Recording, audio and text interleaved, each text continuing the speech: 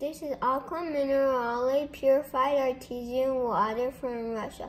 We got it from the Moscow airport. Let's test the TDS and pH levels.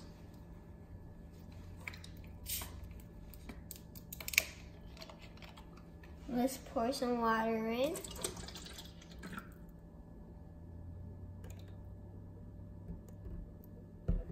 First, we're going to test the TDS level. If you want to buy this TDS tester, check the link down below. Turn on the TDS tester, make sure it says zero, and put it in. 62. And that is okay to drink. Now let's test the pH level. If you want to buy this pH tester, check the link down below. Only do two drops.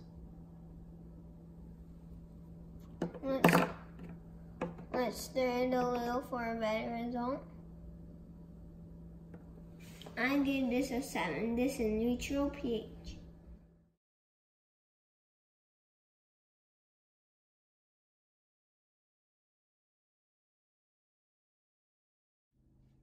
Stay tuned, like and subscribe.